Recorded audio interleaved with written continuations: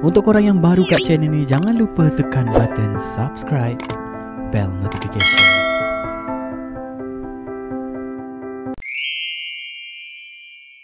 Kini sudah pun masuk minggu yang ketiga untuk rancangan realiti Gegar Vaganza musim ke-9 Dengan bertemakan pilihanmu OK Lock Program tersebut yang berlangsung semalam di Majlis Bandaraya Shah Alam MBSA itu Menyaksikan seorang lagi peserta telah pun tersingkir iaitu Haida Hasnan Apabila cuma berjaya meraih 53.4% markah Manakala kedudukan pertama pula berjaya dikekalkan oleh penyanyi terkenal Sheila Hamzah selepas membawa lagu secangkir Madu Merah.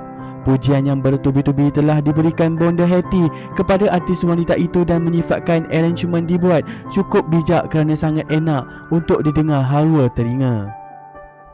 Sementara itu Jacqueline Victor yang pertama kali membawakan lagu dandut perawan atau janda pula dikatakan sedikit kekok ketika sedang bergelik. Sewaktu melakukan persembahan sempat juga Kak Lina yang rancak berjoget ingin interframe sekali. Namun situasi bertukar kelakar apabila pengacara tersebut ditolak keluar dari pentas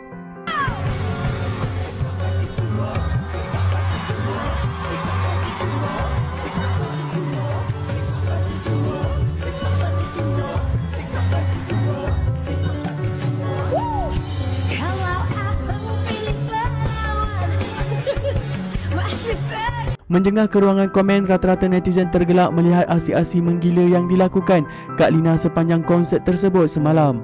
Dalam pada itu, ramai juga memuji nyanyian Jack meskipun tahu genre tersebut bukanlah yang biasa dinyanyikan sebelum ini.